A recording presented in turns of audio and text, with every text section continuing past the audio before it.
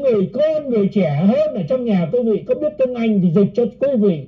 Quý vị đừng có nghe những cái miệng thúi của những cái con uh, mà dư luận viên cộng sản đảng viên cộng sản Việt linh rồi những cái đám mà mang mang súng mang cung ra cho người ta coi đó rằng rằng huy đức đó đó là cái gì? Nó, nó chúc quý vị vô cái chương trình của nó quý vị coi nó là cái gì? Coi cái khu đấy sao mà quý vị mà nghe xong rồi quý vị nói là chúng tôi nói dối.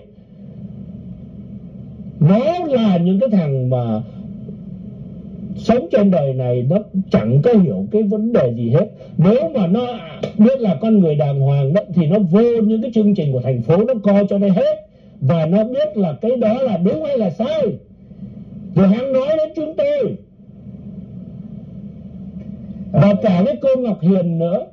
Là một cái chương trình tivi mà đi lấy láo thì ai mà coi được. À. nhìn cái mặt như vậy mà đi nói láo rồi đưa những cái chương trình mà đi đi phê bình nhận xét một cách tầm bậy tầm bạ hết